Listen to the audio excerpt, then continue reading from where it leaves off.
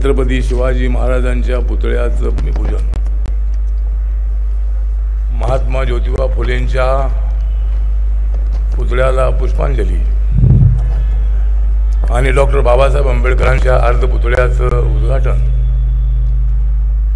माननीय देशाचे गृहमंत्री अमितभाई शहा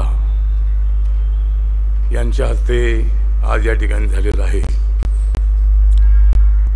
तुम्ही सर्वांनी त्यांच्याकडे चांगल्या नजरेने पहा. तुम्ही त्यांच्याकडे चांगल्या नजरेने पहा. म्हणजे ते महाराष्ट्राचा सहकार मज़बूत करतील अमित शहा. मैंने तो आपको बार बार कहा. मैंने तो आपको बार बार कहा,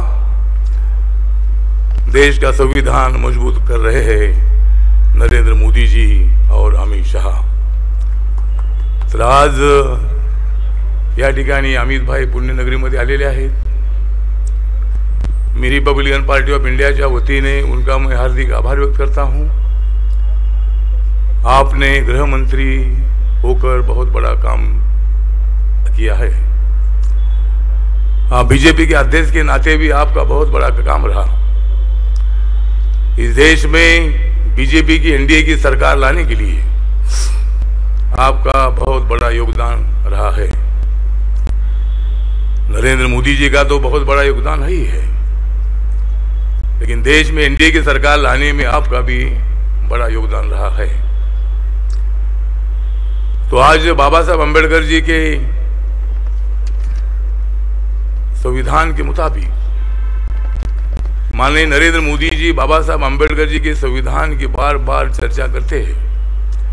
बाबा साहब के व्यक्तिमत्व की बार बार चर्चा करते हैं। बाबा साहब अंबेडकर जी का संविधान ये बदलेगी, इसी तरह की चर्चा कुछ लोग करते हैं। लेकिन मैं उनको बताना चाहता हूँ कि बाबा साहब का संविधान बदलने का विषय आता नहीं है।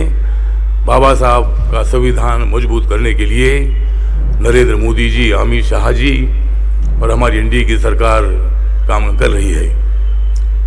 तो हमारे दलित समाज में गलत फहमियाँ फैलाने की कोशिश होती है। दलितों का आरक्षण निकाला जाएगा, इसी तरह की चर्चा की जाती है। लेकिन हमारी माननीय मोदी जी की सरकार दलित, आदिवासी, ओबीसी के आरक्षण का पूरा सपोर्ट करती है।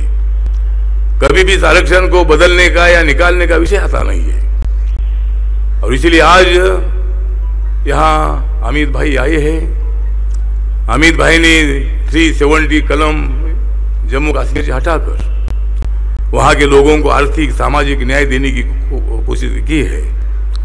वहाँ के जो आतंकवादी लोग हैं, उनको सबक सिखाने का काम हो रहा है। और इसलिए हम देश में अमन चाहते हैं, हम देश में शांति चाहते हैं, जम्मू कश्मीर में शांति चाहते हैं, जम्मू कश्मीर का विकास चाहते हैं, महाराष्ट्र का सहकार क्षेत्र मज़बूत करना चाहते हैं। माननीय नरेंद्र मोदी जी पर मतलब उन्होंने, अमित शाह जी पर जो सहकार डिपार्टमेंट ने नया शुरू किया है, उसकी ज़िम्मेदारी दे दी है।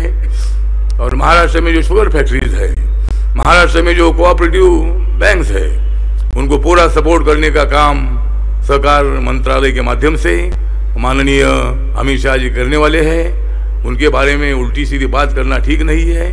और तुम कुछ भी बात करो, लेकिन सहकार क्षेत्र महाराष्ट्र का मज़बूत करने के लिए मोदी जी की सरकार, अमित शाह जी मतलब कदम उठाएँगे।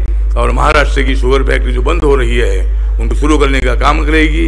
यहाँ की जो शुगर जो सरकार बैंक है, उनको भी पूरा सपोर्ट करने का काम माननीय अमित शाह जी के माध्यम से होने वाला है। तो इसीलिए जो कुछ भी आप बातें करो, लेकिन हमारी सरकार इंडिया सरकार, बीजेपी की सरकार पूरे देश भर में सहकार क्षेत्र को मज़बूत करना चाहती है। और इसीलिए आज यहाँ मुझे बहुत खुशी है कि अमित भाई ने बाबा साहब के चाचू का इनाग्रेशन किया है और इसीलिए वो हमारे पुण्य नगरी में आए हैं। इसीलिए मैं रिपब्लिकन पार्टी के अध्यक्ष के नाते और माननीय मोदी जी की सरकार में सामाजिक न्याय और अधिकारिता मंत्रालय के राज्य मंत्री के नाते अम्बेडकरी मूवमेंट का कार्यकर्ता के नाते मैं यहाँ मतलब उनको हार्दिक हार्दिक बधाई दे देता हूँ। और मैं इतना ही बताना चाहता हूँ कि मैं करूँगा इस देश के दुश्मनों का सामना। मैं करूँगा इस देश के दुश्मनों का सामना। और मैं देता हूँ अमित भाई को मेरे तरफ़ से शुभकामना। इन्हीं शब्दों के साथ मैं दो शब्द खत्म करता हूँ। नमस्कार, प्रणाम। जय भीम, जय भारत, जय महाराष्ट्र। एबीपी माझा उघडा डोळे बघा नीट।